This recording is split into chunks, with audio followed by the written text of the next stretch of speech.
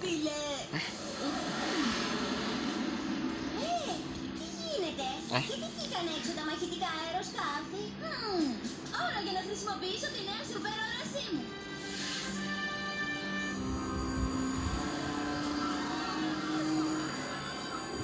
Παιδιά, υπάρχει κάποιο είδος οριμός πορτοκαλιού τέρας που καταστρέφει την πόλη. Πορτοκαλί.